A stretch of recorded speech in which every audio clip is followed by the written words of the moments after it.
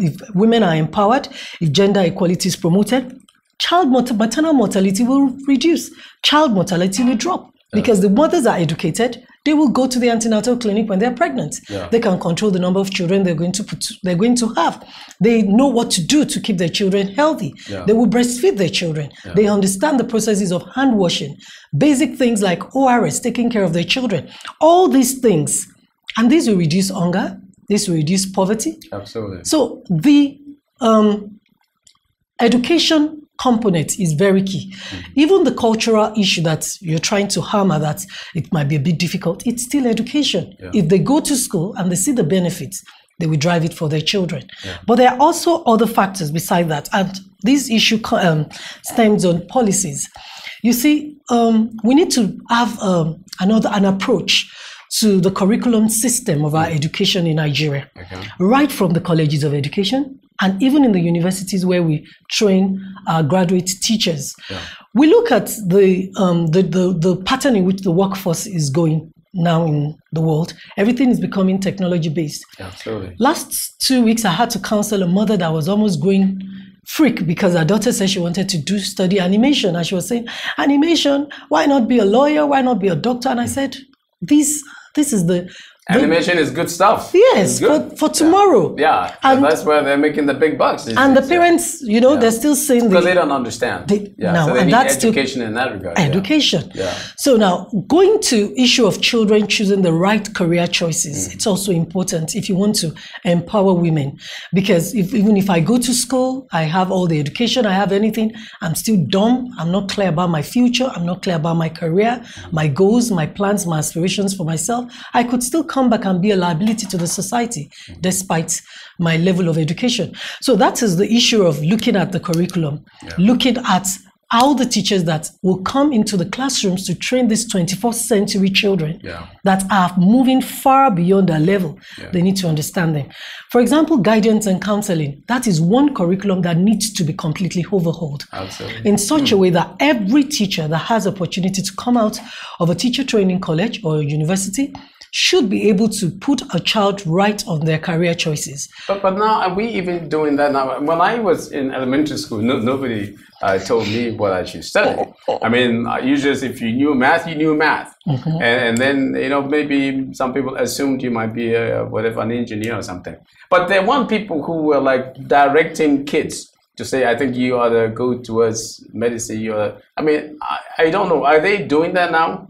From elementary, from the elementary school, are people giving them?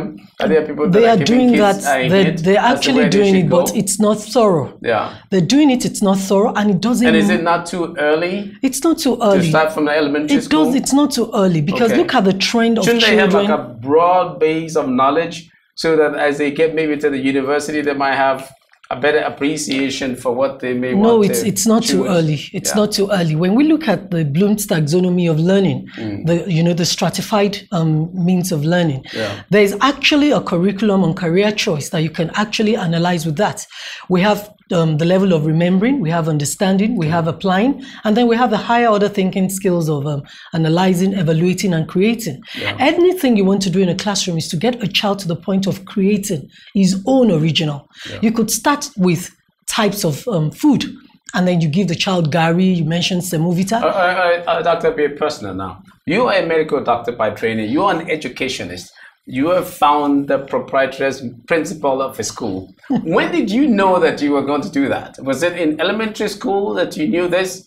Or this, after you got a medical degree, then you knew that you would do that? if you asked me this question five years ago, Yes. I would have told you that um, I stumbled on the career. Yeah. But when I reflect, I do actually have vivid pictures of memories when I was an 8, 10, 9, 10 year old Yeah. that I wanted to be like my teacher. Okay. I actually have a picture of a teacher that keeps flashing back my mind in the past two years of how I always say, when I grow up, I want to be a teacher, I want to be a teacher. And then, but I ended up in medical school. And even in medical school, I used to do very well in tutorials with my colleagues. But, you know, and this is what we're talking about career choices. Yeah. I could have stayed in the four walls of, um, of a teaching hospital, carrying out research and all that, taking care of patients. But I'm, I'm impacting more on my society where I am Yes. As an entrepreneur, a social entrepreneur, and also someone that is able to contribute to the educational component Yeah. um, of our society. So this is just the same thing about the career choices. There's actually nothing wrong. So the, the, you, you you've been quoted uh, in, in in the magazine that um, that yeah, you think that maybe some of our kids are not learning quite as much or not getting as much as they probably could be getting.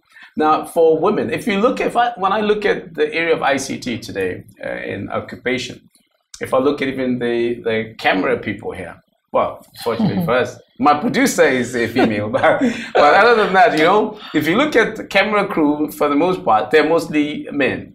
Uh, if you look at um, graphics designers, they're usually men. If you look at um, website designers, if you look at people in ICT programming, mostly men. What accounts for that? I mean, are women told in elementary school you cannot do programming? Before I answer you that, why Yes. did you choose a female producer? Because I'm sure you had male producers doing. You had options of choosing male producers. Well, because she her? she she went through mass communication and she was as good as the other guys, and so she was the one. what you were talking about, um, it's all female males, graphic designers, web designers, animation, Yes. animist, and um, you know, animation um, developers and all that. You see, what we're talking about here is actually these children can't make choices about what they don't know. Yeah. You want to see more females in those fields. If they don't know those fields exist, early enough for them to decide to get themselves um, to de- build their interest and even sustain their interest and get parental support, get the support from the community, the society. They can't go there. And that's still back to the issue of the guardians and counselors. The guardians and counselors we have in our schools, how well equipped are they to expose children to the 21st century workforce demand? You know, in the next 15 years, there are some jobs that won't be there for people anymore Absolutely. some degrees in the university, people will get there and they will not get jobs to do when they come out. So it's out. What I'm trying to say, it's it's the foundation. You made mention that maybe it was too early to get them to start learning such things in the elementary school. No, I'm, I'm- not sure. I'm, I'm telling you, it's not too early. Yeah. Because the children should be able to evaluate their decisions. Yeah. They need to be able to assess their decisions. If they don't get used to that from an early age, it's now when there's so much you now want me to assess and decide outside after so out of so many options. But if they if they have gotten used, and that's why I made reference to the Bloom's taxonomy of learning. If children have been used to go through that ladder for everything they learn, everything they do, get to the point of analyzing, evaluating, and creating. Then those children, when they get to the point of making the choices of their careers, they will make the right choices. I was just I was just saying that to me, it is not so much what happens to the individual female. Therefore, we should look at our curriculum, we should look at our schools, and be sure that the females are also taking the classes, the courses that are going to uh, lead to the best jobs in the future, especially in the ICT area. And I think you made a good point that the uh, the teachers should therefore be prepared so that they can teach those courses and also can guide you know our kids towards that. which- but then you said that the that you want that concern you said it was good but that is important to be sure you got this 30% 40% representation of women in the state assemblies national assemblies or whatever but isn't that indicative if if younger girls see that the prime minister is a female, then they aspire to also be prime minister. If they see that the uh, that a female is the is the senate president, then they also aspire. So so it's, it's good that we have this.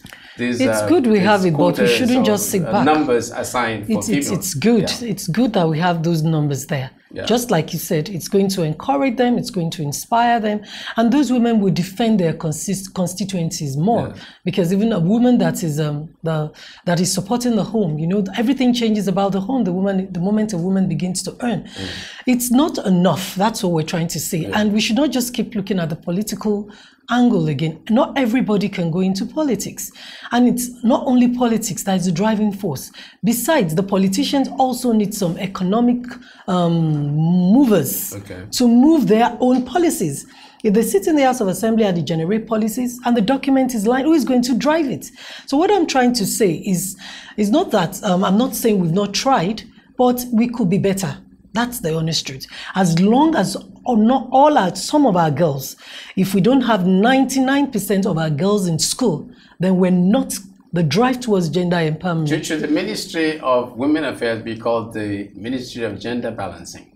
So that they will be looking at the grassroots at the schools to see what is happening in the schools, the right curriculum goes out. You think maybe the, the, right the nomenclature changes, is going to change Why anything? Maybe it highlights the importance of what we're trying to achieve. No, probably what they need to do is to have agencies that focus on that. We can't because of that, now you know change the face of the Ministry of Women Affairs. There are other things that pertain to um, women affairs, and we need to run our vision in our own country in line with other, you know, the best practices in other parts of the world. But we can actually have agencies that government can set up agencies that can actually run the vision for gender empowerment. The honest truth is we will not develop anywhere in Nigeria if we don't do something about gender empowerment. How, how many children should an average working woman have? Ha! in, in order to be normal. When you're looking at number of children, 10? what's the survival rate in the society? What's the survival rates? Take, for example, in China, they live as long as 100 years. It's the longevity that matters. In Nigeria, it's a taboo for somebody to have one child. The next thing that will come to your mind is if this child has just develops diarrhea or malaria, anything can happen, the child can die. So that is why it's difficult in our own part of the world to restrict the number of children. But the honest truth no, is but this that is now a high-paying, high-tech madam in the office. Ipain Itech Madam yes. is a Nigerian yes. that has a cultural roots yes. and has a cultural obligations. Maybe four. Maybe four. Maybe four. On that note, ma'am, I want to thank you so very much for being on that show. Thank you very much, sir. Wonderful. Thank you. Great job.